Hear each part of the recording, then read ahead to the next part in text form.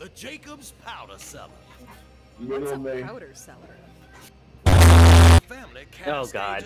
signature gunpowder. My father must have hidden a fragment in a barrel.